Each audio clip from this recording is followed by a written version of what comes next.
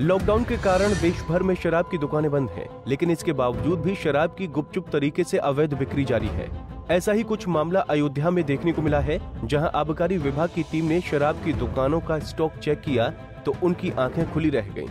दरअसल लॉकडाउन के दौरान ज़िले में शराब की अवैध बिक्री जमकर हो रही थी जैसे ही इसकी जानकारी आबकारी विभाग को मिली तो आबकारी विभाग की टीम ने पुलिस के साथ शराब की दुकानों की तलाशी ली। इस तलाशी के दौरान आबकारी विभाग को दुकान में रखा स्टॉक कम मिला। इसके बाद उन्होंने जब सेल्समैन से शराब के स्टॉक के कम होने की वजह पूछी तो वो कुछ जवाब नहीं दे पाया। इसके बाद उन्होंने दुकान पर कार्रवाई करते हुए तुरंत उसे सील कर दिया। वहीं सिटी मजिस्ट्रेट ने बताया कि दुकान का लाइसेंस निरस्त कर दिया है। सूचना प्राप्त हुई थी कि जो है, यहाँ पे जो विदेशी मदिरा की दुकान है, रिकाबगंज में यहाँ से चोरी छिपे जो है शराब बेची जा रही है। इस शिकायत के आधार पर हमने डीएम साहब से अनुमति प्राप्त की और फिर यहाँ पे आकर के हमने दुकान खुलवा करके इनका स्टॉक चेक किया।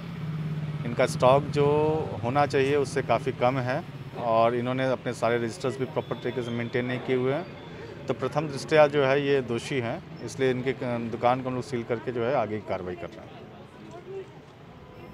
आपको बता दें कि लॉकडाउन के बाद से ही दुकान में लगभग 60 आइटम दुकान में कम मिले हैं। ऐसे में बड़ा सवाल ये उठता है कि जब शराब की दुकानें बंद हैं, तो शराब की बिक्री लॉकडाउन में कैसे हो रही है?